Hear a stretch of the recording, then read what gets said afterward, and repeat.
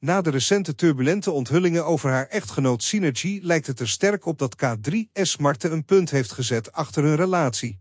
Deze beslissing wordt door Synergy zelf opvallend kenbaar gemaakt via een intrigerend bericht op Instagram.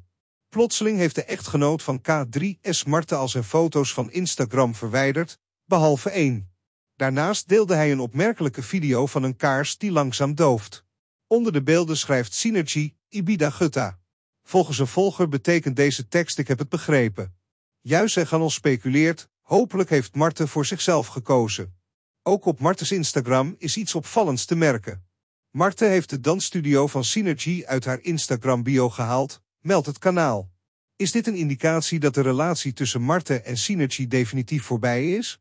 Onlangs bracht Juise Ganon naar buiten dat Synergy contact heeft met andere vrouwen. Een dame, die lange tijd contact met hem heeft gehad, onthulde details over een incident tijdens een optreden.